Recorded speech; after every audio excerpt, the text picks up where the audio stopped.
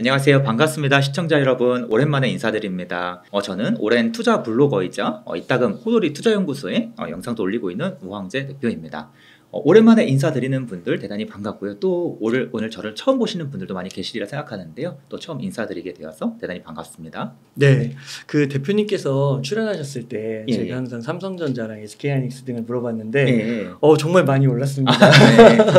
역시 그 성견지명이 대단하신 것 같은데요. 어, 예, 뭐, 저- 저만의 의견은 아니었을 겁니다. 네. 네, 네. 또 질문을 한번 예, 예. 드려보도록 하겠습니다. 예. 그 지난 1분기에 네. 좀 국내 증시를 주도했던 반도체 업종과 밸류업 관련 모멘텀이 네. 잘 나가다가 음. 이 선거 때문에 그런지 약간 힘이 빠지는 것 같아요. 네. 그래서 이 실적 발표 기간을 전후로 해가지고 예. 증시 주도 업종이 좀 경기 민감주로 바뀔 수 있다는 전망도 나오고 있는데 아, 예. 현재 반도체 업황 좀 어떻게 보고 계세요? 아, 예. 반도체 업황에 대해서 말씀을 드리자면 우선 산업의 업황이 있을 것이고 이 산업의 업황보다 앞서가는 이 주가의 흐름이 있을 것입니다. 산업의 업황을 말씀드리자면 산업의 업황 자체는 이제 어, 지속적인 이 반도체 산업은 상승과 하락을 반복하는 사이클 산업인데 이 대략 한 2, 3년 동안의 하락 사이클을 마무리하고 이제는 다시 상승 사이클로 전환이 본격적으로 시작되는 그런 단계에 있다라고 보시면 되겠고요.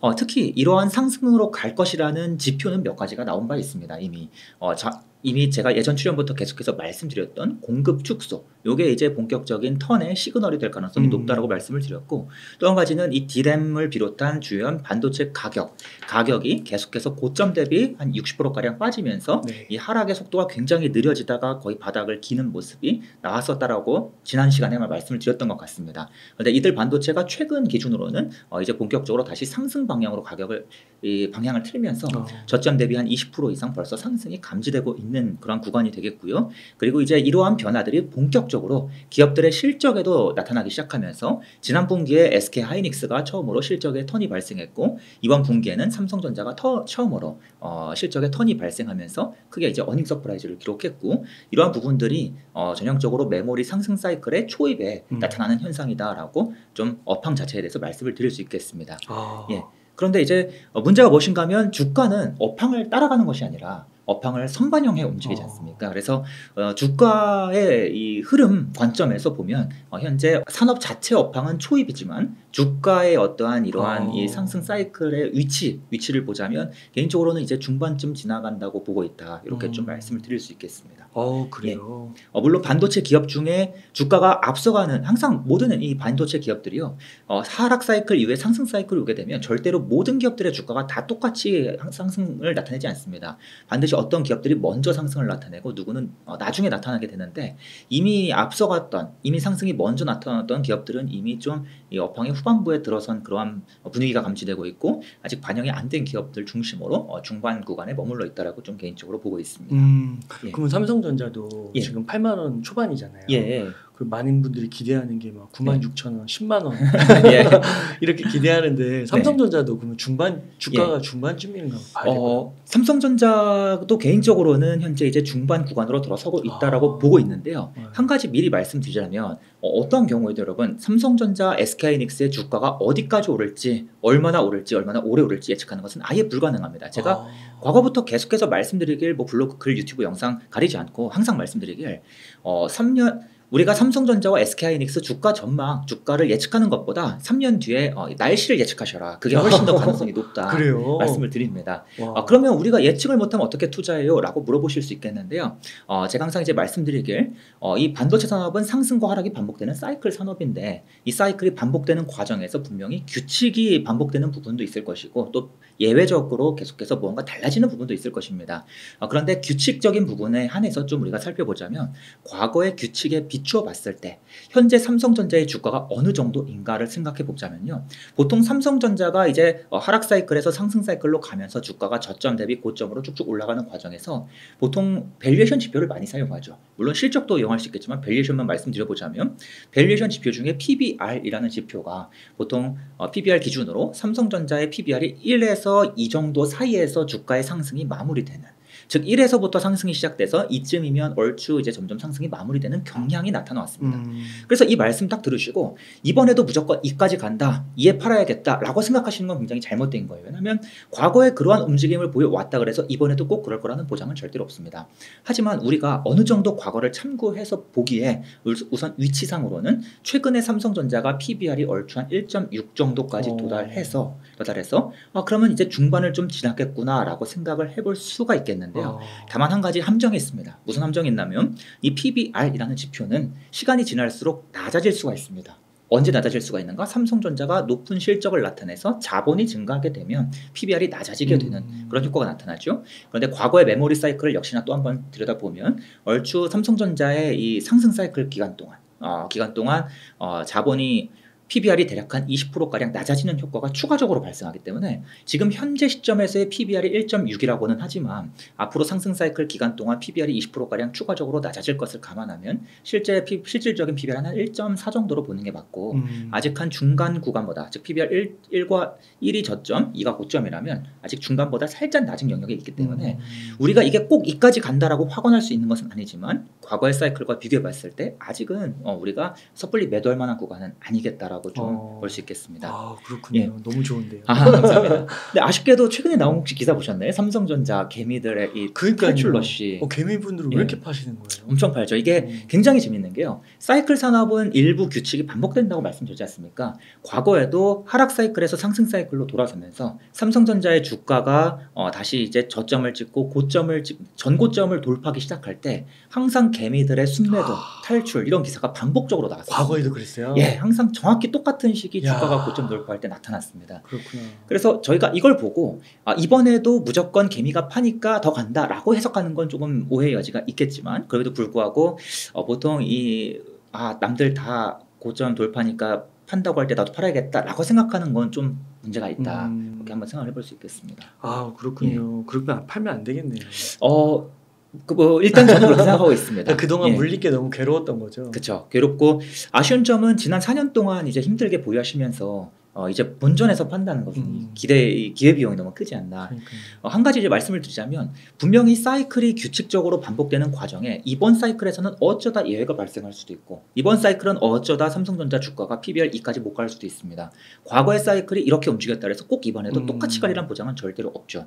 어, 하지만 어, 그렇기 때문에 개인적으로는 어, 현재 시점에서 중반 구간이기 때문에 아직 분명히 우리가 투자할 여지는 남아 있지만 그럼에도 불구하고 혹여나 발생할 수 음. 있는 어떠한 예외적인 케이스를 항상 감안하면서 투자하기 위해서 즉 보수적인 투자를 하기 위해서는 반도체 업황에서 불어오는 긍정적인 이슈만 살펴볼 것이 아니라 네. 부정적인 이슈도 함께 살펴보시고 또 한 가지는 이게 업황의 이 긍정 업황이 점점 더 호조 구간으로 갈수록 우리는 이 투자 기간을 좀 더 짧게 잡으면서 자꾸 이슈 체크를 하면서 업데이트를 하면서 어, 투자를 해야 한다라고 생각합니다. 그래서 그런 관점에서 제가 이 삼성전자뿐만 아니라 반도체 업황에 혹여나 지금 문제가 발생하진 않는지 음. 어, 갑자기 상승 사이클이 좀 마무리될 만한 신호가 발생하진 않는지 이러한 내용들을 블로그와 저희 텔레그램 채널에서 계속 공유를 드리니까요. 함께 또 참고해 보시면 좋을 것 같습니다. 그러니까 이번에 그 실적으로 보면 예. 삼성전자가 1분기에 earning surprise를 아, 발표했잖아요. 예, 맞습니다. 그럼 이건 좋은 의미 아니에요? 어, 보통 earning surprise라고 하면 좋은 의미가 될 수도 있고 아닌 경우도 있는데요. 어, 이 earning surprise 자체는 즉 이번에 surprise 자체는 분명히 surprise인 건 맞습니다. 음. 증권사에서 추정하는 실적보다 월등히 높은 실적이 나온 건 맞는데 음. 문제가 무엇인가 하면 개인적으로 생각하기에는 이 네. surprise에 큰 의미를 두지 않는 이유가 무엇인가 하면요. 어. 과거에도 이 메모리 상승 사이클이 봉- 반복됐다고 말씀을 드렸지 않습니까? 그런데 항상 상승 사이클 초입부에서 초입부에서 기업들의 실적이 악화되었다 상승으로 바뀌는 과정에서 몇 가지 이유에서 항상 항상 예외 없이 surprise 실적이 꾸준히 나왔었습니다. 어. 그래서 이, 요 그래프가 무엇인가 하면 삼성전자의 요 실제 실적이 네. 예상치 대비 굉장히 높게 나왔다. 1조 원 이상 높게 나왔다. 요 빨간 그래프가 surprise입니다. 흰색 그래프는 쇼크이고요. 그래서 이번 분기에 surprise가 나왔는데요. 재미있는 사실은 과거의 메모리 사이클 상승 초입부 때, 상승 초입부 때도 항상 surprise가 아. 항상 surprise가 나왔었습니다. surprise가 나오는 이유는 여러 가지가 있습니다. 뭐 증권사의 추정이 어려운 이유도 있고 다들 보수적으로 보기 때문이기도 하고 또 그동안 창고에 쌓아둔 재고 자산들의 가치가 하락했다가 네. 다시금 회복되면서 또 실적에 기여하는 부분도 있고 여러 가지 이유가 있는데 아무튼 이러한 surprise는 항상 메모리 상승 사이클에서 나타나는 초입부 메모리 상승 사이클 초입부에서 나타나는 공통된 특징이기 때문에 음. 우리가 대단히 큰 의미를 부여하기보다는 아 방향이 확고하게 이제 상승 방향으로 전환하는 신호탄이 되겠구나 정도로 음. 해석하는 게 맞다고 보고 있습니다. 야, 또 이렇게 과거를 보여주시니까 예. 어 그렇군요. 아, 예. 야, 이게 예. 무조건 좋게만 받아들이면 안 되겠는 거군요. 예 맞습니다. 아, 예. 그러면 또 뉴스 하나 좀 예, 언급해 보면은 네. 얼마 전에 그 대만에서 강진이 있어가지고요. 아 예. 이게 국내 반도체 업체의 호재라는 전문가들의 아. 분석이 있었는데 네네. 이에 대해는 어떻게 생각하세요? 어, 솔직히 그 호재라는 말씀을 들으시면 아무래도 좀 유튜브로 주식을 공부한 지 오래지 않은 분들께서는 음, 좀 민감한 단어, 그죠. 가장 민감한. 단어가 뭔지 아십니까? 호재, 어, 다음- 악재. 악재, 수혜. 어, 이, 이 특히 수혜 호재만 보시면 바로 다음 날 이제 풀매수 가자. 어, 이런 분들이 굉장히 많이 보시죠. 좀 안타까운데요. 음. 이 호재라는 것이 어, 긍정적인 뜻을 담고 있긴 하지만 그렇다고 뭐 당장 주가가 튀어 올라야 되고 뭐 두 회씩 가야 되는 그런 이유는 아니라고 보고 있습니다. 이 호재라는 게 장기적인 호재이지 어, 단기적으로 무언가 기업들의 실적에 당장 이바지할 만한 음. 변수는 아니라고 보고 있습니다. 그래서 분명히 이 많은 반도체 그러니까 대만 쪽에 지금까지 우리 반도체 좀 만들어줘라고 계속 오더를 넣었던 기업들 입장에선 분명히 고민이 있을 수밖에 없습니다. 아. 지정학적 리스크가. 그런데 한 가지 좀 어, 말씀을 드리자면 대만의 지정학적 리스크가 지진 말고도 또 있지 않습니까? 중국과의 음. 전쟁 가능성 이러한 이슈들은 지난 몇 년 동안 계속해서 제기되어 왔고 이를 안정화시키고자 미국도 자국 내 공급망을 계속해서 만드는 중이기 때문에 어, 분명히 이러한 부분이 호재라고는 하지만 이게 뭐 실제로 우리가 투자에 도움이 될 만한 뭐 내가 삼성전자를 한 20년 장기 투자 무조건 묵혀둘 것이 아니라면 뭐 당장 우리가 좀 관심을 갈 만한 호재는 좀 아니지 않나 생각을 하고 있습니다. 아 그렇군요. 예.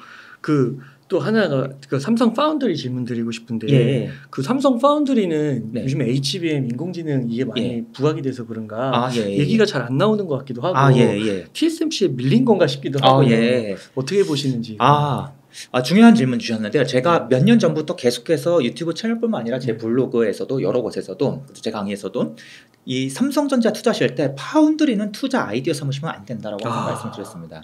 이유가 정말 여러 가지 많, 음. 많은데요. 사실 지금까지 말씀드렸던 이유가 무엇인가 하면 파운드리는 삼성전자 실적에서 기여하는 비중이 극도로 미미합니다.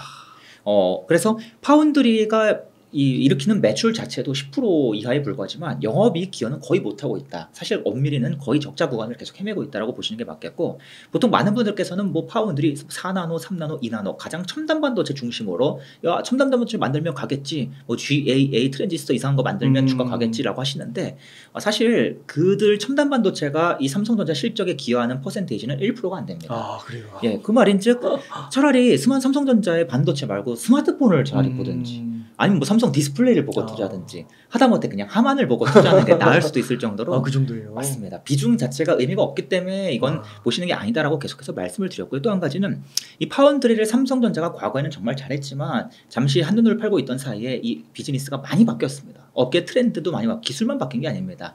이 문화 자체도 굉장히 많이 바뀌었, 바뀌, 바뀌었기 때문에 삼성전자 입장에서 현재 파운드리는 거의 신사업에 가까운 특, 특징 을 가지고 있고 본격적인 수익화까지는 정말 많은 시간이 걸릴 겁니다. 아. 2019년부터 본격적으로 사업을 재편해서 계속해서 무언가 새로운 모습을 만들어 간다고 하는데 얼추 한 10년을 바라보는 사업이기 때문에 현 시점에서는 아직 시간이 남아 있고요. 음. 또한 가지는 지속적으로 또 말씀드렸던 내용인데 TSMC가 1등 기업이고 삼성이 지금 2등 기업인데 TSMC를 따라가기 위해서 는 삼성이 더 많은 투자를 해야 하는 게 음. 상식적이지 않습니까? 그죠. 그런데 TSMC가 투자하는 금액이 3배 이상 많습니다.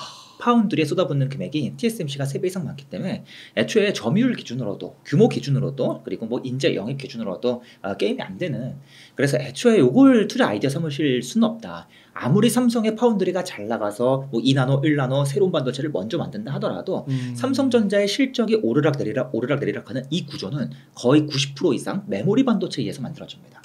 그 다음이 어, 삼성전자의 뭐 가전 사업이나 그 이후 이제 스마트폰 사업, 하만 이렇게 가는 거고요. foundry는 그 이하입니다. 그래서 어, 우리가 실제로 투자할 때는 어, 이 기업의 주가를 결정짓는 핵심적인 변수를 찾는 게 중요한데 그 변수는 메모리의 사이클이지 어, 절대로 이 foundry가 될 수 없다라고 아, 다시 한번 좀 강조 드려보겠습니다.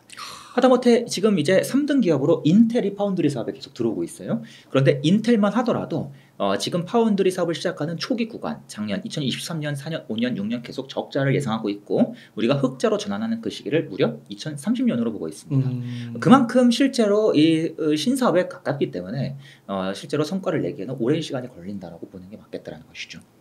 어, 예. 명쾌하십니다. 아 예. 대단하십니다. 아, 그렇게 매출 기여도를 따져야 되는 거군요. 맞습니다. 따지는 게 맞고요. 엄밀히 말씀드리자면 우리가 삼성 foundry에 투자할 것이면 삼성 파운드리, 삼성전자 주식이 아니라 음. 그 아래에 있는 value chain 기업들에 투자하는 것이 맞다라고 계속해서 말씀을 드렸습니다. 네. 그러면 이 삼성 foundry가 밀리고 있는 듯한데 예, 예, 돌파구가 있을까요? 돌파구가 따로 있는 것은 아니고요. 음. 자연스럽게 저는 저는 이렇게 생각합니다. 삼성전자 입장에서도 무언가 조금이라도 더 사업 성과를 빠르게 끌어올리기 위해서 대안을 고민하고 있을 텐데요.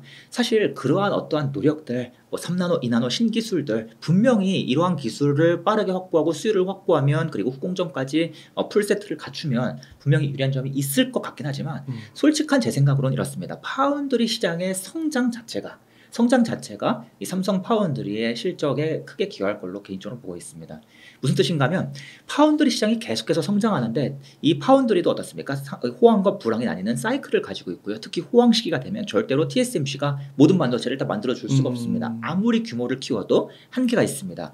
그 영역을 삼성전자가 파고 들어갈 텐데요. 이처럼 어, 시장이 계속해서 커지는 가운데 호황이 몰려서 공급이 점점 tight해져서 부족하게 될 때 그때 삼성전자가 얻는 낙수 효과 개인적으로는 그 시기에 삼성전자가 이 파운드리 실적이 개선되는 모습이 나타날 텐데 어, 그 정도 효과를 기대하는 것이 현실적으로 현실적으로는 좀 가장 큰 기대거리라고 생각이 들고요. 삼성전자 입장에서 돌파를 하기 위해서는 아직 시간이 좀 많이 필요한 이유가 아, 삼성전자의 메모리 반도체 사업은 어, 이 코스트코 사업과 똑같습니다. 잔뜩 반도체를 만들어 두고 창고에 쌓아두고 고객이 오면 갖다 파는 구조를 가지고 있지만 삼성전자의 파운드리 사업은 어, 특급 호텔 full service VIP 음. 의전 서비스와 똑같습니다. 그래서 고객님 공항에서부터 모시는 것부터 수영장에서 수영 끝나면 로션 발라드리는 것까지 모두 다 해드려야 되는 그런 서비스인데 음. 삼성전자가 코스트코 사업만 하다가 이 사업을 준비하기 이러한 full service를 준비하기 시작한 게 2019년부터 얘기가 나왔고 20년, 21년, 22년 지나면서 서서히 그 모습을 갖추기 시작하는 단계이기 때문에 아직은 현 시점에서 이러한 full service를 갖추는 게 가장 좋은 돌파구가 될 텐데 현 시점에선 시간이 필요하다. 가끔씩 또 물어보세요. 아니 호돌이님 어, 삼성 foundry는 고객과 경쟁하는 구조를 가지고 있잖아요. 그러면 고객이 이 삼성한테 제품을 안 맡기지 않을까요? 라고 물어보시는데 아, 저는 그건 좀 아니라고 생각합니다. 아, 고객과 경쟁해도 괜찮습니다. 어. 인텔 foundry도 경쟁하는 건 마찬가지입니다. 아, 그런데 그러 오히려 TSMC 같은 경우도 어, 대만 내에서 판- 팸리스 기업들과 유대관계가 굉장히 강하기 때문에 TSMC한테 맘 놓고 맡기기에는 TSMC 입장에서도 밀어줄 수 있는 팸리스 대만 기업이 많이 있거든요. 그런 내용이 중요한 게 아니라 바로 이러한 풀 서비스를 갖추는 그러한 시간, 시간이 필요하다는 게 가장 중요한 변수라고 보고 있습니다. 아, 시간이 필요하겠네요. 예, 아, 맞습니다. 그렇군요. 예. 그러면 이렇게 좀 총체적으로 보셨을 때 예, 예, 예. 좀 반도체 투자에 있어서 좀 조심해야 하는 그런 부분이 있을까요? 어, 조심해야 되는 시기도 있고 이유도 있고 여러 가지가 있는데요. 아, 주의하실 점은 어, 굉장히 안타깝게도 지난 2020년 기준으로 삼성전자와 SK이닉스의 커다란 빅사이클, 음. 이 반도체 상승 사이클이 나타났을 때 삼성전자 기준으로 말씀드리겠습니다. 삼성전자 주식을 장기 투자하시는 개인 투자자분들 제외하시고 장투하시는 분들 제외하시고 야 요즘에 삼성 주가가 간대 반도체 좋대 해서 뒤늦게 들어오신 개인분들이요. 그러한 일반적인 어, 매매 목적의 개인분들 기준으로 봤을 때 그런 분들이 삼성전자 주식을 주로 언제 사셨는가? 음. 어, 가장 최고점일 때 아. 주가가 가장 최고점 8만 9만 전자 그 시기에 죄송합니다 7만 8만 전자 계속해서 넘어가는 시기에 무려 90% 이상이 그때 사셨습니다. 음. 근데 왜 그때 샀는가? 그냥 단순히 뭐 생각이 없어서 지식이 없어서라고 하기에는 아, 아닌 것 같고요. 그게 아니라 다들 좋다고 하니까 왜 반도체 업황이 초호황이다. 디램 가격 두 배 이상 계속해서 급등해서 오른다. 삼전 역대 최대 실적 찍는다. 이러한 어, 내용들이 계속해서 나오면 점점 휘, 휘둘릴 수밖에 없다는 겁니다. 사람이. 어, 그런데 저는 이 부분이 가장 조심해야 되는 포인트라고 봅니다. 앞에서도 말씀드렸지만 지금 반도체 업황은 어, 이제 어, 하락에서 상승으로 전환되는 그러한 어, 음. 업- 업황의 움직임이 나타나고 있고요. 이러한 업황이 계속해서 점점 더 좋아지는 과정에서 호황 이야기, 좋다는 이야기가 더 가속화될 겁니다. 그럼 앞에서도 말씀드렸지만 어, 반도체 상승 사이클 초입에는 개미 투자자분들이 대거 파는 게이 반복되는 특징이라고 말씀드렸는데 또 한 가지 재밌는 특징은 상승 사이클이 점점 강화되는 과정에서 다시금 개인 개인 투자자분들이 추가로 유입이 되시기 시작하고 그다음에 삼성전자가 가장 유명한 주식이 될 즈음 개미 개미분들이 정말 많이 꼬이면서 어, 주가가 서서히 상승을 마무리하는 그런 모습이 반복적으로 나타났습니다. 그래서 가장 중요한 것은 현 시점부터는 반도체 업황에 대한 좋은 이야기만 자꾸만 듣는 것. 음. 아, 그걸 좀 경계하셔야 하고 부정적인 이야기도 앞으로 서서히 조금씩 조금씩 늘어날 텐데 그러한 이야기를 함께 고민하는 것이 중요하다. 그리고 또 지금 영상 보시는 분들 중에서요, 엔비디아 좋, 좋다는 거 모르시는 분 아무도 안 계실 겁니다. 음. 엔비디아에 대해서 부정적인 말씀하실 수 있는 분 정말 한 분도 안 계실 겁니다. 음. 그런데 저희는 투자자이잖아요. 네. 투자자는 항상 남들보다 앞서가는 생각을 해야 하고 남들이 하지 않는 고민을 조금이라도 일찍 해야 합니다. 무슨 말인가? 엔비디아 주가가 내일부터 떨어질 거예요. 그런 얘기를 하는 것이 아니라 음. 언젠가 이 엔비디아의 상승도 급격하게 이루어지다가 이 상승의 이 하락 이 상승이 마무리되는 시기가 올 텐데 그 이유가 뭐가 있을까를 한 번쯤 고민해 보시는 게 투자자의 자세라고 생각합니다. 이게 왜 중요한가면 이 정말로 아무리 산업이 성장하더라도 주가는 반드시 급등한 상승과 또 폭락을 반복하면서 움직입니다. 2차 전지 산업이요. 전 앞으로 계속 성장할 거라고 확신합니다. 하지만 에코프로 주가가 크게 올랐다가 지금 또 크게 빠졌다가를 반복하지 않습니까? 어, 그런데 문제가 무엇인가면 아니 미래에 대한 생각을 한 번도 안 하신 분들은 주가 하락이 본격화되는 시기에 아니 어차피 산업이 성장할 건데 성장할 거니까 더 사야지 오히려 매수로 대응하시고 풀 레버리지 끌어오신다는 음. 겁니다. 하지만 아 성장할 수 있음에도 산업은 성장할 수 있음에도 주가가 급격하게 올랐으면 한번 쉬었다 가는 게 정상인 거라고 한 번이라도 생각하시는 분은 아, 주가 하락이 본격화되는 시기에 어 이거 혹시 하면서 한 번쯤 팔고 갈 수 있게 된다는 겁니다. 아, 이 행동이 달라진다는 것이죠. 아, 그러한 관점에서 저는 좀 어, 지금 하락이 온다는 뜻은 절대 아니지만 어, 이제 하락 사이클이 본격화되면 어떤 이슈에 의해서 하락할까, 엔비디아 주가가 어떤 이유로 하락하게 될까. 가령 예를 들어서 엔비디아의 실적이 엄청나게 급등하는데 판매량이 급격하게 늘어나지 않습니까? 그런데 판매량만 늘어난 것이 아니라 제품의 판가도 엄청나게 올랐습니다. 2천만 원대 하던 GPU가 지금 7, 8천만 원 엄청나게 비싸게 팔리고 있단 말이죠. 가격의 급등도 함께 일어나는데 상식적으로 GPU 가격이 막 1억, 2억, 3억까지 갈 수 있는 건 아닐 거 아니겠습니까? 네. 그럼 이 가격의 상승이 점점점 둔화되다가 이 무언가 어떠한 이유에서 좀 조금씩 이제 음. 하락이 발생하거나 아니면 고객사들이 GPU를 사가는데 지금 걸리는 시간이 뭐 6개월에서 9개월인데 이게 뭐 2, 3개월로 줄어든다거나 이런 이슈가 서서히 발생하기 시작할 수도 있다 분명히 수도 있다. 그래서 어, 이러한 가능 이러할 일이 생기면 엔비디아 주가도 한번 조정을 거칠 수 있지 않을까라고 우리가 한 번만이라도 생각할 수 있다면 어, 우리가 충분히 이 지금 상승장을 대응하고 있는 자세라고 볼 수 있겠습니다. 아, 네. 예. 감사합니다. 예. 그 그러면 삼성전자 예, 주가가 이제 지금 8만 원을 넘으면서 예, 예. 강세를 보이고 있는데 네. 삼성전자 주가 좀 네. 어떻게 전망하세요?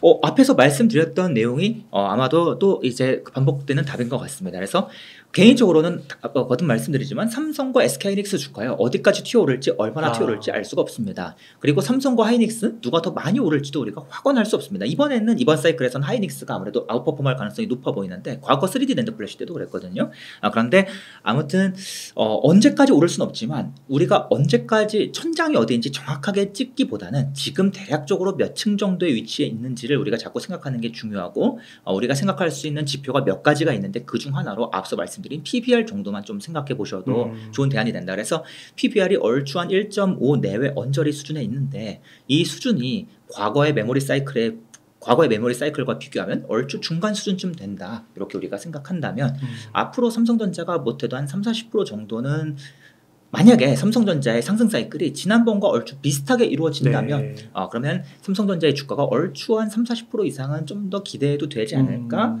어, 라고 우리가 생각을 해볼 수가 있겠습니다. 아, 다만. 주의하세요. 이 꼭 확정적으로 PBR 2까지 간다 보장은 없습니다. 만약에 예상보다 업황이 빠르게 꺾이거나 삼성이 뭔가 뭐 악재가 등장해서 하다못해 극단적으로 삼성전자 공장에 해성이 떨어질 수도 있는 거잖아요. 그런 악재가 발생할 수도 있는 거기 때문에 우리가 어, 대략적인 위치, 내 현재 위치를 잡고 어, 중심으로 생각을 하는 것이 옳겠다라고 좀 말씀을 드려보겠습니다. 그 삼성전자를 좀 투자하시는 분들 가운데서 예, 예, 예. 뭐 무조건 끌고 가는 분 말고 예예예. 중간에 일부 뭐 매도를 하시는 분들이 있으면. 뭐 1.6, 1.7 이렇게 되면 네. 분할 매도로 이렇게 대응하는 것도 좋은 방법이라고 생각하세요? 어, 개인적으로는 매수 매도 전략은 투자자 분들마다 정말 끝도 없이 음. 다르다고 생각합니다. 이 영상을 시청하시는 분들이 만약에 한 만 분 계시다면 네. 그러면 투자 전략도 만 가지로 나뉠 수 있다고 생각합니다. 그럼 한가운데 좋은 방법은 분할 매도가 될 텐데요. 다만 한 가지 조금 주의하실 부분은 앞에서도 말씀드렸지만 삼성전자의 주가가 전고점을 돌파하는 시기에 음. 요때 파는 건 조금 많이 이르긴 하다. 아. 그래서 어, 남들 다 파니까 나도 팔자. 이 심리가 제가 나 지금 동안 손실 봤는데 음. 아 지금이라도 팔아야지 지쳤어. 그게 사실 사실 좀좀 매우 안 음. 좋지 않나. 장기적으로는 우상향 예. 한다고 보시는 거네요. 장기적인 우상향 가능성은 매우 높다라고 아. 보고 있습니다. 삼성 하이닉스 모두 높다라고 보고 있는데요.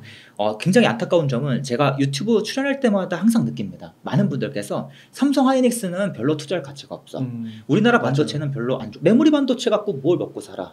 라고 말씀하시는데 우리나라 반도체 산업이 산업이 굉장히 흥미로운 사실이 계속해서 우리나라 전체 시장에 그러니까 전 세계 반도체 시장 내에서 우리나라 반도체 산업의 위상이 계속 높아져 왔습니다. 아. 그 비결은 다른 게 아니라 바로 메모리 반도체 때문이고 메모리 반도체의 비중도 과거 전체 반도체 시장에서 15%에서 20%에서 25% 지금 이제 30%까지 계속해서 넘보고 있는 상황입니다.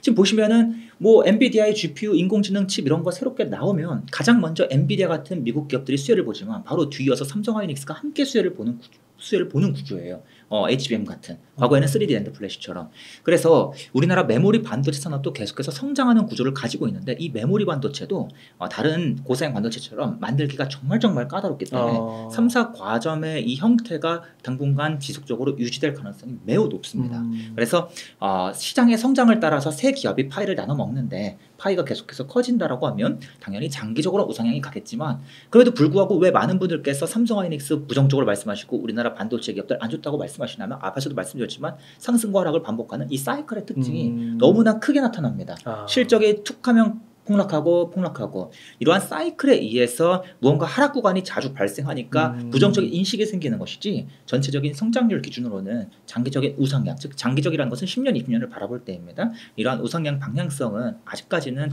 어, 충분히 가능하다라고 보고 있습니다. 그러니까 그게 예. 변동성이 크다 보니까 예, 하락했을 때 이거 진짜 네. 기업 어떻게 되는 거 아니야? 네. 미래 성장성에 대한 의심이 더 커지는 거고 그렇습니다. 런 보도가 나오는 거고. 예, 우리가 뭐 꼭 주식뿐만 아니라 뭔가 부정적인 이슈가 자주 나타날수록 음. 긍정적인 이슈가 더 퇴색돼 보이지 않습니까? 그러겠네요. 예, 그런 것 같습니다. 그러면 그 예. 삼성전자 HBM 부분 한번 질문드리고 싶은데 아 예, 이게 하이닉스에 비해서 경쟁력이 네. 많이 떨어지고 맞습니다. 생각보다 또 지연된다. 예, 그걸 예. 따라잡는 데 있어서 이런 이야기도 나오는데 네. 한편으로는 또 HBM3는 네. 2분기 내에 엔비디아에 공급될 가능성도 있다고 하고 아 예. 어떻게 보세요?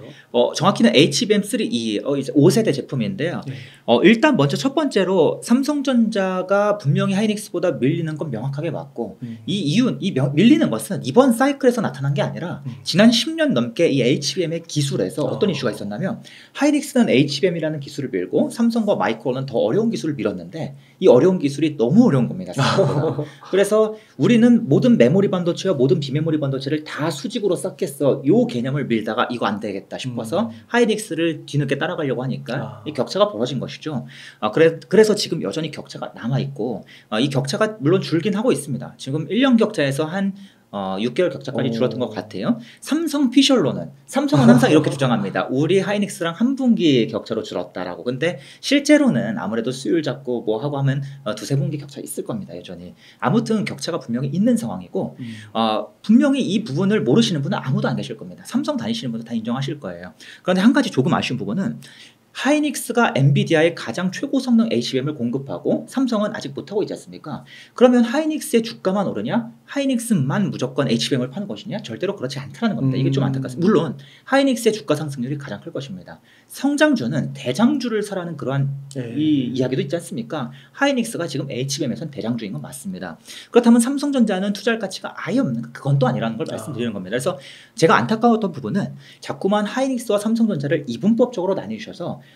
분명히 얘 하나만 나갈 수 있고 하나는 뒤처지고 어, 만약에 얘가 나가기 시작하면 얘는 못 나가고 자꾸만 이런 식으로 이분법적으로 생각하시면 너무 많으신 거예요. 그래서 너무 안타까움에 하이닉스도 당연히 좋지만 삼성도 어느 순간에 따라갈 수밖에 없는데 그 이유가 꼭 HBM 때문만은 아니다라고 음. 계속해서 말씀드렸던 거예요. 그랬더니 또 이제 막 영, 이 댓글에는 아니 뭐 하이닉스 주주분들은 뭐 하이닉스만 된다, 삼성 주주분들은 삼성도 된다 막 또 싸우시더라고요. 저한테 막 뭐라 하시고 근데 그런 뜻은 아니고요. 네. 어, 어떤 이슈가 있냐면 예를 들어서 지금 인공지능 칩들이 굉장히 다양한 칩들이 나오고 있습니다. 엔비디아의 H100이라는 제품이 가장 대표적이지만 계속해서 그 아래에 수많은 종류의 인공지능 칩들이 더 다양화되면서 계속해서 나오고 있는데 이들 칩들은 어, 더 다양한 인공지능 서버를 타겟으로 하는 어, 새로운 유형의 칩들입니다. 무슨 말인가면 엔비디아의 제품이 가장 뛰어나고 가장 좋은 건 명확하게 맞지만 꼭 모든 서버가 다 엔비디아의 가장 비싼 칩만을 써야 하는 것은 아닙니다. 아. 가장 고성능 인공지능 서버 예를 들어서 뭐 마이크로소프트, 뭐 메타, 구글 같은 녀석들은 엔비디아 칩들을 써야겠지만 그렇지 않은 인공지능 서버들도 굉장히 많아요. 우리나라만 해도 지금 인공지능 서비스 기업들이 수백 개 이상 엄청나게 많은데 우리가 아는 기업들이 거의 없지 않습니까? 그 정도로 많은 기업들이 인공지능 서비스를 하는데 꼭 엔비디아의 칩만 필요한 것이 아닙니다. 그래서 AMD랑 지금 인텔이 엔비디아로부터 밀리고 있다 보니까 계속해서 우리가 좀 더 다양한 시장을 타겟으로 하는 그런 제품들을 내놓고 있는데 이러한 제품들이 탑재가 되면 꼭 가장 최고 성능의 차세대 HBM만 탑재되는 것이 아닙니다.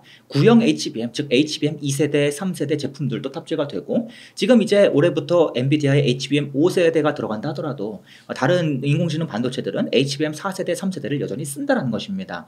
그래서 구형 HBM도 함께 성장하는 구조를 가지고 있기 때문에 삼성전자가 꼭 하이닉스보다 앞질러서 엔비디아를 공급, 엔비디아의 HBM을 공급해야만 실적이 반등하는 것이 아니라 어, 삼성전자는 삼성전자 내에서도 어, 구형 HBM을 점점점 확대하게 되면 삼성전자의 실적 개선 효과가 나타나고 음. 주가 상승 여지는 더 생기는 것이다. 그런 관점에서 삼성전자가 지금 구형 HBM까지 모두 포함한 시장에서는 점유율이 대략 한 40%까지 오. 많이 올라갔거든요. 그러니까 점유율이 올라온다는 뜻은 하이닉스랑 똑같아졌어. 그 뜻이 아니라 삼성전자 입장에서도 HBM의 매출이 늘어나고 있어로 해석하는 게 맞거든요. 그럼 삼전은 과거의 삼전보다 좋아지는 과정에서 과거의 주가보다 높아질 것이다를 우리가 기대하는 것이 맞고 꼭 하이닉스랑 비교해야 되는 것이 아니다. 그 점을 좀 다시 한번 강조드리겠습니다. 그래서 어, 과거의 사이클을 살펴보면 삼성과 하이닉스의 주가가 얼추 비슷하게 오른 시기도 있었고 그렇지 못한 시기도 있었는데 이번에는 하이닉스가 아웃퍼폼을 할 가능성이 높아 보입니다만 어, 그에 비해서 그럼에도 불구하고 삼성전자의 주가 상승은 과거 그 어느 사이클 때보다 현저히 지금 낮은 수준에 있기 때문에 그런 관점에서 우리가 꼭 HBM 5세대 엔비디아의 공급해요 이슈만 아. 살펴보기보다는 legacy 제품도 계속해서 판매가 확대되는 점 거기에 플러스 더해서 이번 5세대까지 납품하면 더 좋은 거 이 정도로 해석하는 게 좀 더 좋지 않을까 보고 음. 있습니다. 그리고 HBM 5세대 제품이 삼성의 엔비디아 쪽에 언제 공급하게 될지 그거는 뭐 삼성 내부자들도 모를 겁니다. 음. 어, 대표님들도 모르실 거고요. 그래서 그 부분을 제가 섣불리 말씀드리기 조금 어렵다. 근데 개인적으로는 이제는 엔비디아에 공급하는 그 제품이 이제 마이크론까지 늘어났고 삼성도 기준만 만족하면 어, 공급 못할 이유는 없다라고 좀 말씀을 드려볼 수 있겠습니다. 음, 예. 그럴 가능성도 있는 예. 거예요. 그 엔비디아가 예, 예. 그 엔비디아 말고 예. 그 빅테크들이 예. 막 자체 반도체 칩을 만들어서 어, 예. 그걸 삼성전자에 맡길 수도 있는 거예요. 어, 예. 그 지금 실제로 이미 그런 변화는 계속 나타나고 아. 있습니다. 어, 그러니까 이런 거죠. 인공지능 서버가 계속 늘어나는데 음. 여러분 혹시 인공지능 서비스 뭐 써보신 거 계십니까? 아무 혹시 뭐 인공지능 서비스 써보신? 챗GPT. 챗GPT. 어. 그런데 요즘에는 이제 뭐 그림도 그려주고 네. 음성 변환도 해주고 요즘에는 뭐 PDF를 추출해주고 음. 서비스가 늘어나지 않습니까? 음. 특화된 인공지능이 점점 늘어나면 그 기능을 집중적으로 수행해주는 아. CPU, GPU가 더 많이 필요합니다. 극단적으로 네. 말씀드려볼게요. 아마존이 서버 사업을 하지 않습니까? 음. 아마존은 여러 가지 기업 여러 기업들의 여러 기업들이 만드는 파일들을 대신 음. 저장해주는 사업을 하는데 파일을 그냥 저장해주면 난리가 납니다. 음. 왜 해킹 당할 수도 있고 유출될 수도 있고 그래서 반드시 보안 암호화 작업을 해야 합니다. 아. 그런데 아마존 서버에 이 파일을 이 맡기는 기업들이 워낙 많다 보니까 무슨 문제가 발생하냐면 아마존 서버에 내가 파일을 저장할 때마다 저장할 때마다 아마존 서버에서는 자꾸만 이 암호화 작업에 너무 많은 시간이 걸리는 거예요. 그래서 인텔이나 AMD의 CPU를 갖다가 이 작업을 맡기니까 무슨 문제가 생기냐? 인텔의 CPU는 여러 가지 작업을 고루고루 할 수 있도록 만들어졌거든요. 범용 제품으로. 근데 지금 아마존은 여러 가지 작업이 아니라 암호화 작업을 음. 집중적으로 수행해 줘야 돼요. 그러다 보니까 인텔의 CPU가 과부하가 걸리는 겁니다. 아. 암호화 작업에 자꾸만 매달리다 보니까 다른 작업을 못하게 되고 성능이 낮아지는 문제가 발생하죠. 그래서 아마존이 야 암호화에 특화된 암호화 작업을 더 집중적으로 수행하는 그러한 CPU를 만들자. 어. 어, 이처럼 우리 서버의 기능이 늘어나면 자연스럽게 자체 개발 CPU, GPU는 늘어날 수밖에 없습니다. 어. 그래서 어, 인텔이 CPU를 못 만드니까 아마존이 만드는 거지 그게 아니라 음. 본래 서버 산업이 점점 전문화되고 다양해질수록 이러한 자체 개발 CPU, 자체 개발 GPU는 늘어날 수밖에 없는 게 과거로부터 계속 언급되었던 트렌드이고요. 아. 이게 이제 GPU에서도 확대가 되는 겁니다. 어. 그래서 지금 엔비디아의 GPU가 너무 비싸니까 공급 부족이니까 어, 그래서 자꾸 기업들이 자체 GPU를 개발하려는 것도 있지만 음. 그뿐만이 아니라 엔비디아는 일단 범용 GPU를 만들기 때문에 음. 특화 GPU를 만들기 위해서도 어, 더욱더 어, 기업들이 자체 GPU를 만들려고 한다라고 보는 게 더 합리적이라고 음. 보고 있습니다. 그러면 이제 그런 걸 예. 또 삼성전자가 수주할 수 있겠네요. 일단은 TSMC에 먼저 어, 맡기고 맡기고. 있고요. 거기서 이제 조금 잘 안 되면 삼성전자로 맡기는 그림이 나타나고 음, 있습니다. 또 인텔로 갈 수도 있는 거고. 예, 인텔로 갈 수도 있겠습니다. 음. 인텔은 아직까지는 삼성전자처럼 차량용 반도체를 중심으로 좀 foundry를 확대고 있는데 음. 어, 인텔이 foundry는 말 그대로 앞에서도 말씀드렸지만 full service가 중요하고 음. full service는 고객 만족 경험 많이 있어요. 아. 특급 호텔 가시면 경험이 아, 중요한 안 가봐서 모르겠 경험이 중요한데 이 경험이 없지 않습니까? 새로 시작하는. 그래서 인텔이 내세우는 게 그럼 우리 CPU를 우리 파운드리에 맡기겠다. 음, 그래서 우리 거 잘 만들지 않냐. 음. 우리의 경험을 나눠주겠다 이 방향으로 가고 있는데 아무튼 그런 경험이 확대될수록 계속해서 이 파운드리 쪽으로 낙수가 떨어질 걸로 보고 있습니다. 네. 예. 그래서 앞서서 좀 설명해 주신 것 같긴 한데 예 예 예. 뭐 사이클에 어느 정도 구간에 있다고 보시는지 예. 한 어, 중간 예. 정도. 어, 일단 사이클의 위치를 파악할 수 있는 지표는 여러 가지가 있습니다. 음. 물론 하이닉스의 주가와 삼성전자의 주가도 하나의 아. 지표가 될 수 있겠지만요. 음. 또 기업들의 실적도 지표가 될 수 있고 또 디램과 같은 반도체 가격뿐만 아니라 뭐 재고 자산, TSMC 같은 기업들의 뭐 수주 여러 가지가 지표가 될 수 있는데요. 굉장히 좀 재밌는 부분은 이번에 인공지능용 반도체가 너무나 급 가파르게 성장하면서 그에 반해서 상대적으로 legacy 반도체는 너무나 소외된 거기에 더해서 저, 지금 전방 시장이 굉장히 악화되고 있는 자동차용 반도체 같은 경우에는 오히려 여전히 다운 사이클이 계속 더 되- 악화되고 있는 그런 모습을 나타내고 있습니다. 어, 그래서 이러한 내용들을 좀 종합적으로 봤을 때 우선 조금 어, 주가가 먼저 움직인 그러한 기업들, 좀 가파르게 많이 오른 기업들은 개인적으로 업황이 정확히 중간이다, 뭐 초중반이다 이야기하기는 조금 어렵지만 음. 주가 자체는 중반을 지났다고 보는 게 일단 맞지 아. 않나라고 생각을 하고 있고요. 그에 반해서 어, 지금 아직 legacy 반도체 같은 기업, 에, legacy 반도체 같은 경우에는 뭐 가격으로 보나 기업들 실적으로 보나 주가로 보나 여러모로 아직은 중반 조금 안 되는 구간에 어, 위치한 그러한 녀석들이 너무나 많이 보입니다. 음. 그래서 이러한 내용들을 종합적으로 봤을 때 개인적으로는 지금 많이 올라 있는 인공지능 반도체 기업들에 대해서 아. 무조건 좋아요 막 사세요라고 말씀드리기 너무나 좀 어려운 상황이고 그에 반해서 상대적으로 좀 legacy 반도체를 중심으로 개인적으로는 이 사이클의 중반 구간 조금 안 되는 위치에 와 있다라고 음. 좀 말씀을 드릴 수 있겠습니다. 궁금한 게 그러면 중국 반도체 아 예 예. 수준은 네. 미국이 잘 막고 막 견제하고 있잖아요. 아 예. 근데 또 뭐 휴대폰도 만들고 그러잖아요. 네. 중국 반도체 수준은 좀 어떻게 보세요? 어, 중국은 신기하게도 중국이 자급자족을 하려고 하지만 미국의 도움 없이 아직은 안 되는 반도체가 너무 많습니다. 아. 고성능 반도체가 특히 그렇고요. 어, 중국의 이 고성능 반도체가 정확히 어떻게 만들어졌는지 아직까지도 많이 어. 불확실합니다. 정보도 부재하고 그런데 아무래도 어, 신형 장비가 없기 때문에 음. 구형 공정을 최대한 이용해서 수율이 낮아서 마진이 안 나옴에도 불구하고 어. 정부의 지원 구호로 사실 중국은 아직 올레드도 스마트폰용 올레드도 지금 적자인데 정부가 적자를 더 메꿔주는 구조를 갖고 있지 않습니까? 어, 반도체도 고성, 고성능 반도체도 그렇게 만들었, 만들었을 걸로 추정이 되고 있습니다. 그래서 장비를 올가매는 걸로는 여전히 한계가 보이니까 중국이 뭔가 자꾸 만드는 게 보이니까 이제는 장비에 AS까지 맞겠다는 어. 얘기가 나오는 걸로 보이고요. AS까지 틀어막게 되면은 아무래도 중국의 첨단 반도체 제조 속도는 더 느려 질 걸로 보이고 있습니다. 음. 개인적으로 그렇게 생각합니다. 그래서 왜 그런가 하면 이미 중국에 들어간 첨단 장비들이 분명히 많이 있어요. 음. 그 장비들을 최대한 이용하면 첨단 반도체가 분명히 나올 수 있는데 네. 그 장비 AS까지 틀어막으면 좀 중국이 좀 더 이게 악하고 할말 다시 움츠러들지 않을까 개인적으로는 그렇게 생각을 하고 있습니다. AS라는 거는 예. 고장 났을 때 애프터 어. 서비스 이런 건가요? 정확히 말씀드리자면 마치 이 반도체 장비는 자동차의 타이어와 같아서 음. 계속해서 주기적으로 보수를 해줘야 합니다. 아. 고장과 상관없이 수많은 부속품들, 천 개 이상의 부속품들 중에 일부 부속품의 수명이 굉장히 짧습니다. 음. 대표적으로 짧은 녀석이 뭐 장비에 들어 장비와 함께 쓰이는 펌프, 진공 어. 펌프가 있고 또 장비 뭐 식각 장비, 증착 장비에 들어가는 어, 특정한 영역, 뭐 chamber 내부 영역이 있고 그 외에 또 뭐 플라즈마라고 좀 어려운 개념이 나오는데 뉴파워 플라즈마라는 기업이 있거든요 우리나라에 이런 플라즈마가 쓰이는 영역 이러한 영역은 유지 보수가 월 단위로 진행이 되어야 합니다. 아. 그런데 거기에 들어가는 parts들을 공급하지 않게 되면 유지 보수가 어려워지고 유지 보수를 자체적으로 해결해야 되는데 유지 보수를 자체적으로 해결하려면 자체 기술이 아직 부족하기 때문에 아. 세정부터 시작해서 이 parts 제조까지 시간이 걸리지 않습니까? 어. 수율도 낮고 그렇군요. 그래서 거기서 오는 이 원가 증가 효과가 발생하고 이로 인해서 중국이 만든 반도체 원가가 워낙 높다 보니까 경쟁력이 상실되고 어, 이걸 좀 노린다고 보시면 되겠습니다. 아, 그렇군요. 예.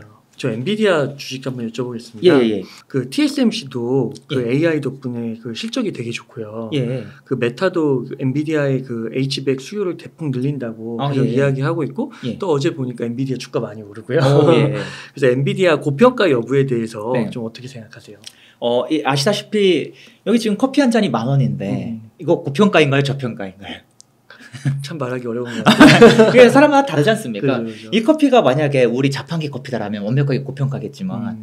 이게 저기 지금 차 타고 한 시간 거리에 있는 관광지 멋진 곳에 있는 멋진 카페에서 그쵸. 만 원이다라고 하면 내가 여기까지 왔는데 만 원쯤은 라고 생각할 수 있지 않습니까? 그래서 가격은 워낙 주관적이기 때문에 함부로 말씀드리기 어렵고요. 음.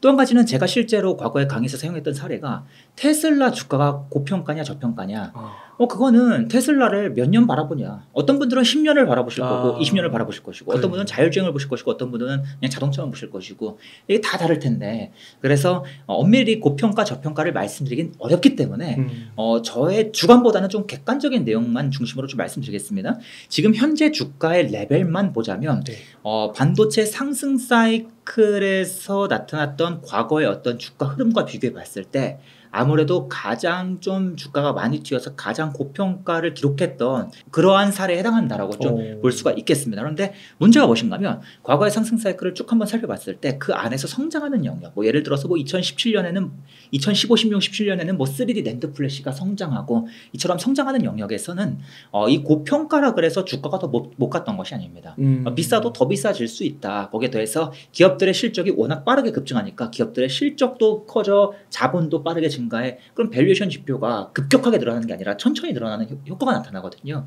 그래서 이러한 내용들을 종합적으로 봤을 때 어, 개인적으로 이 valuation 지표는 굉장히 높지만 높지만 이 사이클의 위치 이런 내용들까지 모두 고- 다 고려했을 때 아직 최고점까지 다다르기에는 어. 여유가 있어 보인다는 게 저의 생각인데요. 야. 근데 사실 제가 생각하기 중요한 건 이 부분이 아니라 많은 분들께서 뭐 고평가 특히 엔비디아 주주분들께서 고평가 막 화부터 내시는 음. 고평가가 주가 하락을 의미하는 게 절대 아닙니다.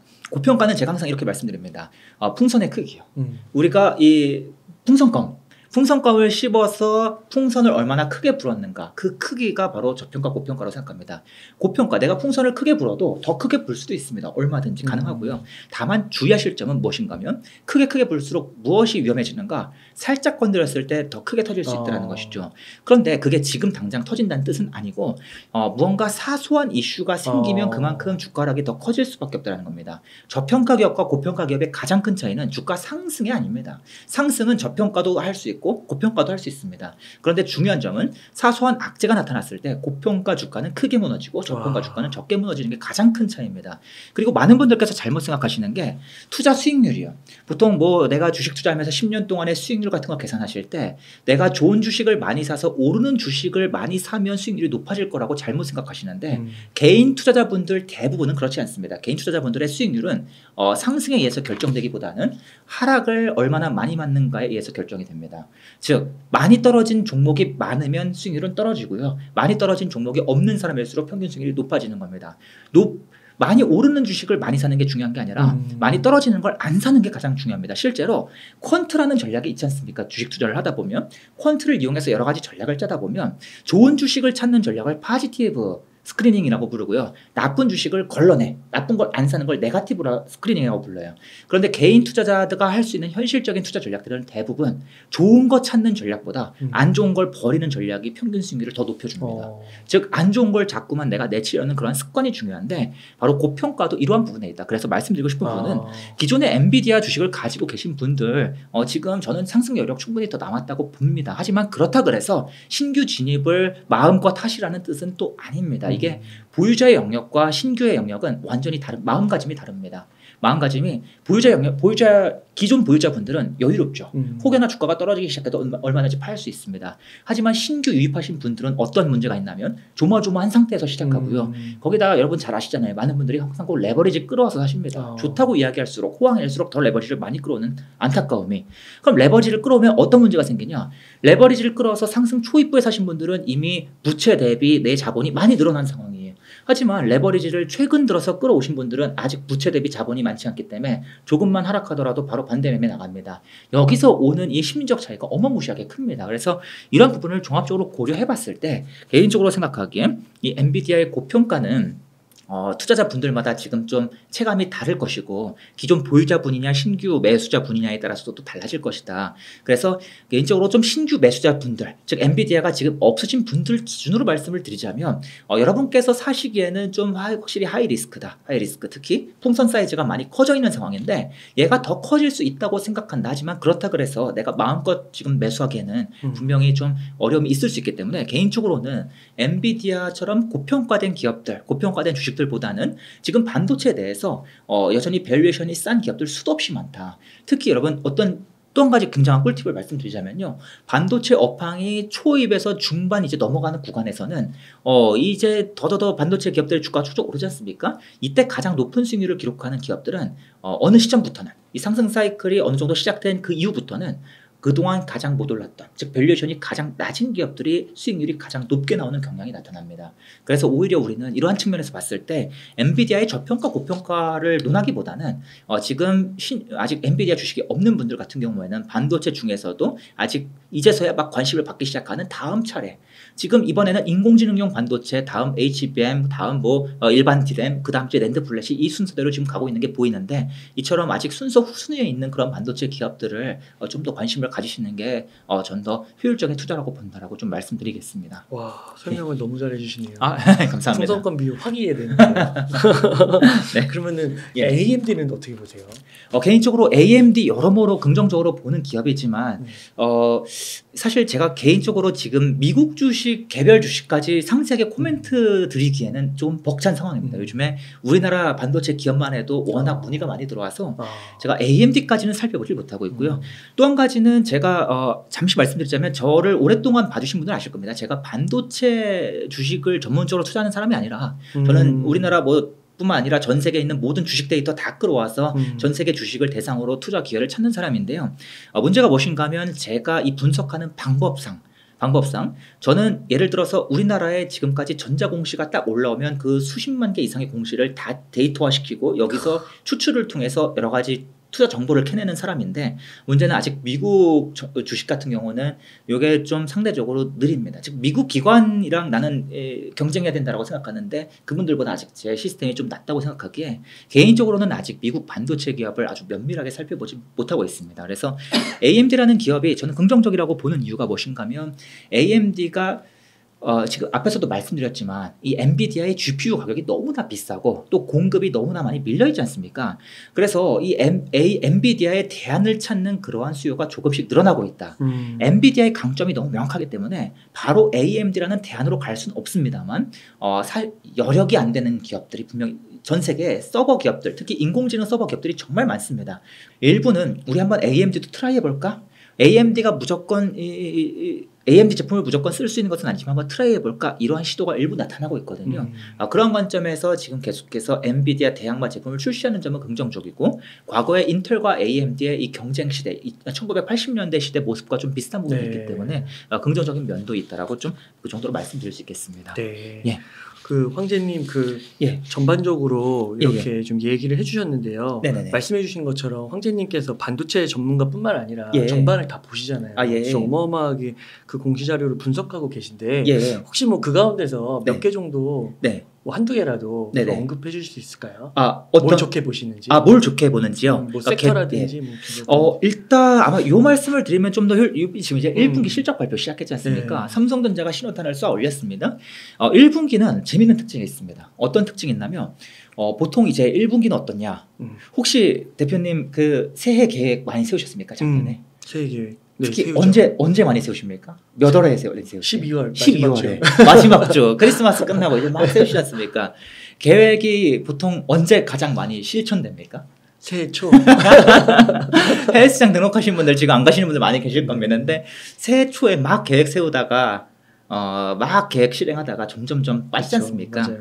이 증권사 리포트도 똑같습니다. 이 연말이 되면 내년을 전망하는 그러한 전망이 굉장히 많이 나옵니다. 음. 무슨 이 섹터가 좋아질 것이고 그 섹터의 이 기업이 좋아질 것이고 굉장히 낙관적인 전망, 막 공격적인 전망이 많이 나옵니다. 음. 그래서 그러한 기대치가 가장 높을 때가 언제인가 바로 연초입니다. 음. 연초. 이 연 후반으로 갈수록 기대치가 뚝뚝뚝 떨어져요. 그래서 연초는 어떤 특징이 있냐면 기대치가 즉 눈높이가 굉장히 높아진 상황이 반복된다는 겁니다. 그럼 무슨 일이 벌어지는가? 기업들이 이제 이제 1분기 실적 발표를 막 할 거예요. 그러면 발표를 하면 어 기대치를 못 맞추는 기업이 막 나타나기 음. 시작합니다. 막 나타나기 시작해요. 그래서 1분기부터 기대치를 못 맞추기 시작한다라는 것은 얘 혹시 기대치가 너무 과대 추정된 거 아닌가? 혹시 증권사에서 작년에 너무 강하게 바라봤던 거 아닌가? 라는 의구심을 우리가 가질 수 있게 된다는 겁니다. 그래서 이러한 영역을 좀 우리가 주의 깊게 살펴봐야 한다는 게 첫 번째 포인트고요. 두 번째는 그에 반해서 기대치보다 더 높은 실적을 짠 하고 surprise를 쭉쭉쭉 발표하는 기업들도 1분기에 많이 나옵니다. 어, 그럼 우리는 이런 생각을 해볼 수가 있죠. 아니 1분기는 기대치가 높아져 있는 상황인데 그것보다 더 높은 실적을 음. 냈어? surprise를 냈어? 그럼 우리는 이 surprise에 한번 관심을 혹시나 뭔가 좋은 이슈가 있나? 어. 뭔가 부정적인 게 긍정적으로 돌아서는 게 있나? 음. 이러한 부분을 더 집중적으로 살펴볼 수 있게 된다는 겁니다. 예. 그래서 이게 바로 1분기 이 실적 발표를 바라보는 포인트가 된다. 특히 음. earning surprise 기업들을 보시되 이 surprise가 호황의 끝물에서 막 짠하고 나타나는 그런 애들 말고 음. 무언가 좀 부정에서 긍정으로 변하면서 무언가 변화를 암시하는 그런 surprise. 그러니까 이 우리나라에 지금 주식이 2,500개 상장되어 있는데 증권사가 커버하는 기업이 500개에서 700개밖에 안 돼요. 나머지는 관심 밖에 있습니다. 그 정도로 이 주식시장의 투자자들이 관심 갖는 기업 수가 굉장히 적습니다. 그러다 보니까 관심을 못 받는 기업들은 분명히 우리 좋아지고 있는데 여전히 관심을 못 받는 경우가 많이 있거든요. 네. 그런 기업들 중심으로 좀 살펴보시는 게. 그래서 우리 지금까지 아무도 관심 안 가져주고 있었네. 근데 우리 계속 좋아지고 있거든. 그래서 지금 이번 1분기에 실적 짠 하고 surprise 발표했거든. 우리 긍정적인 변화가 발생하기 시작했어. 그러한 기업들을 중심으로 살펴보시면 굉장히 도움이 될 겁니다. 음. 이게 첫- 두 번째 포인트고요. 어, 또 한 가지만 말씀드리자면 1분기 실적 발표가 굉장히 재밌는 게 만약에 이번 1분기 실적 발표 때 earning surprise 막 짠 하고 surprise 기업들이 많이 나오면 음. 어, 과거의 이 데이터 상으로 올해 하반기까지 주식시장이 좋을 가능성이 매우 높습니다. 어. 그에 반해서 쇼크 기업들이 많이 나오면 굉장히 부진할 가능성이 거의 매우 높습니다. 음. 그래서 제가 1분기 끝날 즈음 해서 surprise 쇼크 기업들 수까지도 제가 모두 정리해서 블로그 텔레그램에 야. 공유 드리겠습니다. 그래서 이러한 내용들까지 함께 살펴보시면 좀 내가 올해는 약간 주식을 좀 짧게 가져갈까? 아니면 보석으로 가져갈까? 이런 전략도 가져, 가져, 가능하니까요. 이런 내용 함께 살펴보시면 좋을 것뭐 같습니다. 방산 이런 것도 보세요. 어, 개인적으로 방산은 좀 제가 관심 갖기 시작했을 때좀 늦다고 생각해서 관심을 갖지 않고 있습니다. 예, 예. 바이오 이런 예. 거. 바이오가 이제 저는 바이오 산업을 계속해서 한번 공부의 관점으로 음. 바이오 산업은 개인 투자자분들께서 어, 공부를 하시는데 2년 정도 걸릴 겁니다. 아. 그래서 한 지금쯤부터 공부를 시작하시면 2년 뒤쯤에 투자 기회가 나올 수도 있고요. 아니면 공부하시는 중간에 투자 기회가 나올 수도 있고요. 라고 작년 말부터 작년 언젠가부터 말씀을 드렸던 것 같아요. 그게 곧 매수하시라는 뜻이 절대 아닙니다. 한 2년 내내 공부만 하겠다라는 각오로 하시다 보면 매수 시기가 보이게 된다는 것이죠. 왜 그런가 하면 바이오가 굉장히 재밌는 게 이 보통 어, 주식시장에 자금이 많아지는데 자금이 충분히 갈 곳이 없을 때 바이오로 몰리는 경향도 있는 데다가 이로 인해서 바이오 기업들의 주가가 주기적으로 그냥 어떠한 큰 이유가 아닌데도 오르는 경향이 나타나왔고 또 한 가지는 이 바이오는 성장 산업 중에서도 가장 이 초기 성장 단계에 있는 산업이기 때문에 이 금리도 민감하지 않습니까? 이러한 변수들이 좀 얽매이면서 이제 올해 아니면 내년 한 번쯤은 바이오 기업들의 주가가 크게 관심을 받을 수 있지 않을까 생각을 했는데 일부 기업들이 일부 관심을 받긴 했습니다. 그래서 뭐 그런 그런 관점에서 말씀을 드리는 것이지 뭐 바이오 뭐 기술 관점이나 기업들 이슈 관점은 아니다라고 좀 함께 말씀드리겠습니다. 네, 예. 감사합니다. 예. 그러면은 대표님 지금 1억 원 정도 예, 여유 예. 자금 있으면 어떻게 투자 전략 세우시겠어요? 아 예, 어 제가 어 1억 원이 있다면 음. 어 다양한 전략을 세우기 좀 적은 금액인데요.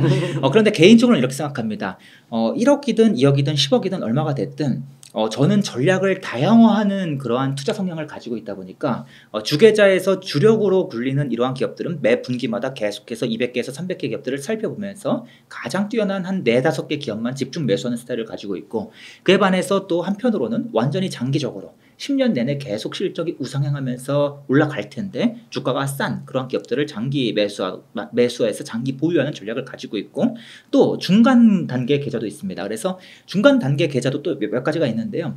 그중 하나는 예를 들어서 한 2, 3년 보유하면 두세 배 올라 있을 기업.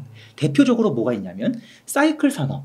사이클 산업에 투자하는데 사이클 산업이 오르락 내리락 하는 산업이지 않습니까? 그런데 내리락이 계속해서 이루어지고 있거나 반도체가 그러겠죠. 또는 내리락이 어, 꽤 오래 이어져서 이제 슬슬슬 하락 사이클이 이제 꽤 많이 찬 이 연수로 봤을 때 이미 꽤 많이 지난 어, 그러한 산업에 속한 대장주들을 좀 모아가는 그러한 계좌가 있겠습니다. 개인적으로는 이 세 계좌에 3, 1, 3분의 1씩 나눠서 투자하는 것이 음. 어, 가장 좋다라고 생각이 들고요.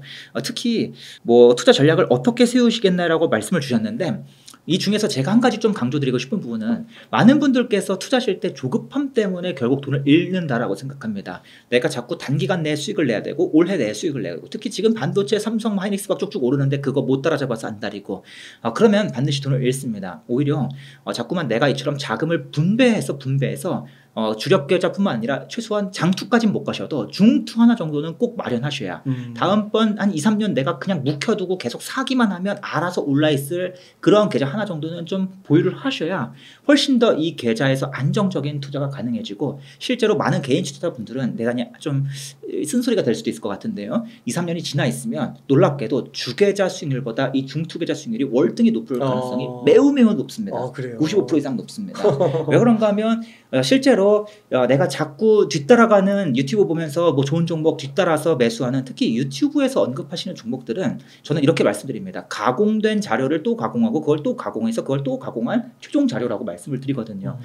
보통 우리가 음식으로 따지면 소세지만 해도 가공식품인데 그걸 또 가공하면 뭐 편의점 도시락이 되고 그러지 않습니까? 그 정도다. 그래서 보통은 이러한 유튜브 영상 뒤늦게 보시고 막 따라서 나도 막 어. 조급해서 사시고 이 과정에서 손실이 분명 커질 수밖에 없는데 사실 수학적으로도 이러한 투자가 가장 수익률이 낮게 나옵니다. 어. 손실로 나오죠. 근데 어, 이 중투 계좌에서는 내가 말, 말 그대로 오를 녀석들 딱 집어두고 계속 모으기만 하기 때문에 음. 그것도 특히 하락 계속해서 안 좋아진 녀석들 다음번 좋아질 걸 기대하고 모으기 때문에 아무래도 이쪽 성과가 더 크게 나타나는 특징이 있고 그렇군요. 개인적으로는 항상 말씀드리길 뭐 정말 많은 개인 투자자 분들께서 여러 가지 투자 성향을 가지실 수 있지만 제가 지금까지 봐왔던 제가 뭐 개인 투자자분들 한두 분 본 게 아니라 뭐 기관계 대표님들 뭐 증권사 계신 임원분들부터 시작해서 뭐 전국에 있는 슈퍼개미 분들 그다음에 전업 투자자분들 정말 많이 봐왔지 않습니까? 그분들과 함께 많은 일도 해왔고 그런데 제가 보기에는 개인 투자자분들께서 현실적으로 가장 높은 수익을 낼 수 있는 그러한 투자 전략은 그 이연 투자자문의 박성진 대표님께서 항상 말씀하시는 내가 한 두세 배 정도 묵혀두면 두세 배 오를 주식을 그냥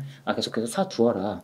그 전략이 가장 성공 가능성이 높고 어, 확실하다라고 생각합니다. 음. 그 마저도 의 100%가 아니긴 하지만 그에도 불구하고 그래서 이러한 전략을 좀 함께 세우는 방향으로 투자하기 위해서는 제가 1억의 자금을 집행한다면 꼭 3천에서 4천만 원은 이 계좌에다 꼭 넣겠다라고 음. 함께 말씀을 드릴 수 있겠습니다. 그러면 예. 이, 이 정도 중투 계좌는 예예. 투자 자금 규모가 예. 한 3분의 1에서 예. 절반 정도까지도 차지할 수 있는 거네요. 어, 그거는 뭐 투자자 분들마다 음. 자유롭게 하실 수 있죠. 저는 아무래도 계좌 수가 음. 많고 또 법인 도 운영하다 보니까 어, 더 나뉘긴 하는데요. 어, 개인적으로는 좀 개인 투자자 분들 기준으로 이러한 계좌에 처음부터 큰 규모의 금액을 넣긴 힘드실 겁니다. 음. 심리적으로.